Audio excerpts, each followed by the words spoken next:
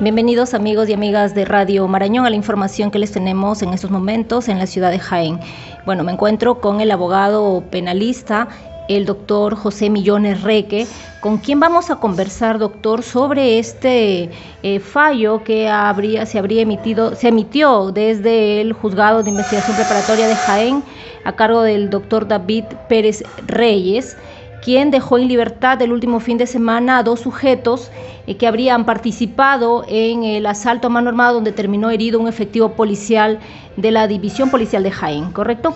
Bueno, la ciudadanía lo que se pregunta, doctor, es eh, bajo qué circunstancias finalmente un juez eh, le puede dar libertad a dos sujetos que, eh, para empezar, en su declaración ante la policía, inclusive declaraciones que han sido difundidas, ellos aceptan haber participado en este ilícito. Bienvenido a Radio Marañón. Muchas gracias. Mire usted, eh, la ley otorga al juez una facultad especial de privar la libertad de las personas cuando encuentre razonables elementos de convicción que esta persona eh, va a fugar uno, dos, que el delito que ha cometido es altamente grave y en estas condiciones del peligro de fuga, el peligro de obstaculización y que la pena es grave, se adiciona un tema de cómo vincularlo a esta persona investigada, capturada, detenida, cómo vincularlo al hecho. Entonces el análisis que tiene el juez según la ley es primero analizar, ¿se cometió un delito? Sí. Bien, ahora ¿cómo lo vinculamos a este señor? Tienen que haber pruebas directas, objetivas, legales, obtenidas dentro de un procedimiento de investigación correcta. Después de ello hace una prognosis de pena. Si la pena que le van a imponer en el futuro será mayor de cuatro años o será menor de cuatro años. Cinco, el arraigo de la persona, es una persona con trabajo, es una persona con empresa, es una persona con familia, es una persona que tiene registros públicos inmuebles eh, anotados en registros públicos a su nombre, no habría peligro en ese entonces. Y quinto es lo que eh, la jurisprudencia nacional ha dicho, el juez sobre todo tiene que eh, verificar si esta persona está, es integrante de una organización criminal, de una banda criminal, presupuestos que deben tener en cuenta con muchísima cautela. Entonces, cuando no concurren la mayor parte de estos elementos de convicción, digo, vinculación directa con el hecho materia de investigación, llámese delito de homicidio calificado, homicidio simple, tráfico ilícito de drogas, entre otros. ¿Cuánto de vinculación tiene? Si no tiene una vinculación, entonces ya anotamos la ausencia de un requisito de procedibilidad. El segundo, el juez va a verificar la pena, la posible pena que le, le espera. Y tercero, eh, va a verificar el peligro que significa tenerlo libre a estas personas. Cuando concurran estos presupuestos, perdón, cuando hay ausencia de estos presupuestos, el juez dice no hay suficientes elementos de convicción para privarle de la libertad. Sin embargo, sin embargo, la investigación tiene que continuar. Va a continuar en libertad, y en esa libertad el Señor tendrá que decir por qué sí participó, por qué no participó, por qué se encontraron los objetos del delito, por qué él estaba presente en el, lugar de ocurrir los hechos, toda una explicación científica. Necesitamos pues para ello de saber, el fiscal y la policía hicieron un trabajo correcto, el problema en mi concepto está allí. En la provincia de Jaén eh, encontramos falencias de investigación. Por ello es que el juez da libertad. ¿Por qué hay falencias?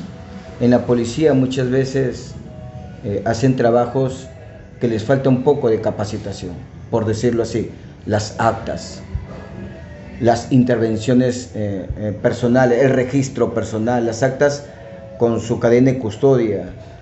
por ahí hay muchas falencias que hay que remediar, hay que capacitar a nuestros policías jóvenes. Sin embargo, yo debo destacar, debo resaltar, en la policía de la comandancia de Jaén hay extraordinarios policías que hacen investigaciones muy serias, muy responsables, pero sobre todo son bastante acuciosos con la experiencia de algunos fiscales que conocen el tema penal.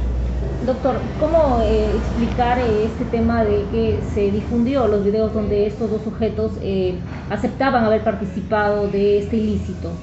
Y que finalmente, según se ha informado también, es que el juez no habría validado estos, estas pruebas. Ah, interesante la pregunta. Mire usted, la Constitución y cualquier norma nacional o internacional señalan que ninguna declaración es válida cuando proviene de actos de coacción.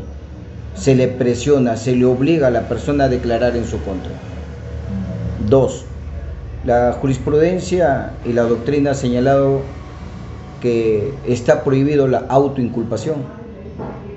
Hay un principio, una persona no puede autoinculparse, salvo que existan elementos corroborantes de que él disparó, de que él robó, de que le encontraron con con, los elementos del delito en la mano o se encontraba en las circunstancias mismas del hecho. Dos principios elementales. Tres, eh, es posible que esa prueba haya considerado el señor juez como una prueba ilegítima, una prueba eh, no constitucional. Correcto.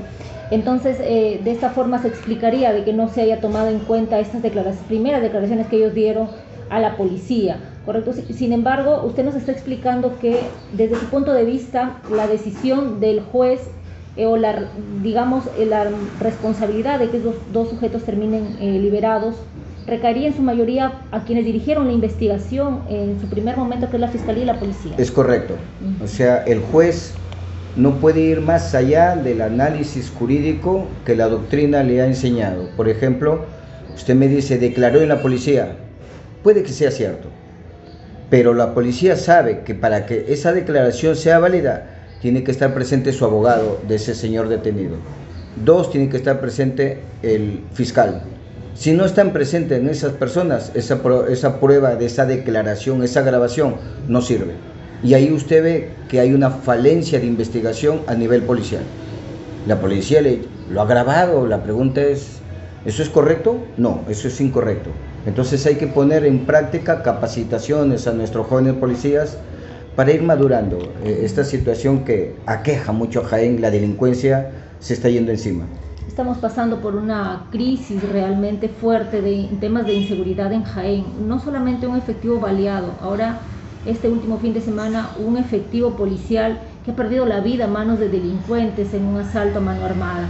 Eh, ¿qué, ¿Qué es lo que nos está haciendo falta, doctor, de repente?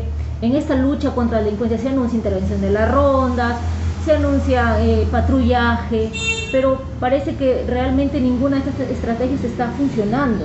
Mire, eh, yo tengo 23 años en Jaén y durante los 23 años todos los comandantes que asumen o llegan a Jaén a asumir el cargo siempre han dicho voy a combatir la delincuencia de los robamotos, la delincuencia común de los asaltos de celulares y todo tipo de delincuencia. 23 años escucho lo mismo pero nunca escuché que exista una estrategia policial para detectar cuáles son los sectores donde más abunda la delincuencia o dónde se ubican geográficamente los delincuentes, de qué lugar son para tener una idea cómo eh, mm, poner un bloque de seguridad en esos sectores. No tenemos. Dos, ¿hay más policías? ¿Hay más motos? ¿Hay más vehículos? ¿Hay más ronda? ¿Hay más cámaras? y la delincuencia sigue creciendo. Es decir, mientras más abundan recursos humanos para combatir la delincuencia, más bien estimo que la delincuencia se está yendo encima de todo este grupo. Mi pensamiento dice, no hay un plan estratégico. Tres, la experiencia de muchos años como abogado radica en los errores de investigación. Y los errores nacen porque fiscal tiene que ser un funcionario altamente responsable para estar desde el momento de la noticia criminal en la policía y dirigir la estrategia. En Jaén poco se hace eso. Entonces el fiscal como la policía tienen que estar bastante vinculados, eh, bastante unidos desde la policía para armar la estrategia. Hay algunos fiscales que supuestamente hacen trabajo remoto, pero si usted sale a la comunidad, los va a encontrar en los supermercados comprando a las 11 de la mañana. Algunos eh, los ves en 12 y 45 en los colegios recogiendo a sus hijos. Es decir, abandonan su labor remota por hacer actividades distintas en el horario de la función pública o de la administración pública. Tres, en Jaén hay una ausencia de capacitación en derecho penal. Sobre todo, no hay equipos, no hay instituciones, no hay peritos, no hay profesionales que le respondan a las mismas exigencias del Código Procesal Penal. ¿Cómo interpretamos esto? Hay un accidente y nosotros tenemos que mandar la prueba a Chiclayo o a Lima para que hagan el dosaje etílico. Y lo hace un técnico de la policía. Cae una persona con sustancias ilícitas, hay que mandarlo a Lima para que hagan esa sustancia para determinar la calidad de, esta sustancia ilícita. Muere una persona, hay que mandarlo a Bagua para que hagan amor. Y cuando ocurre todo eso, ya pasaron más de 15 días y esa prueba no es objetiva. Siendo doctor Jaime una ciudad, una provincia que ha crecido tanto económicamente, pero que tiene estas falencias graves en temas de las instituciones llamadas a luchar contra la inseguridad ciudadana. Eh, le voy redondeando la idea recién he tomado conocimiento de la existencia de un, eh, del Comité de Defensa, creo que recién, recién se ha formado. Y cuando escuché la intervención de destacadas personas como el doctor Tomás Roncales, eh, le escuché eh, a, un efectivo policial, escuché a un regidor, me generó una, una enorme alegría porque dije, necesitamos trabajar en equipo un equipo multidisciplinario, abogados, fiscales, policía, municipalidad, organizaciones públicas y privadas. Pero sobre todo necesitamos un trabajo de prevención en la primera casa. Es decir, desde la casa tenemos que ir difundiendo que son valores, respeto a los, a los jóvenes, a los niños. En la segunda casa después el colegio. El colegio complementan una necesidad de respeto por la por lo ajeno, por la vida.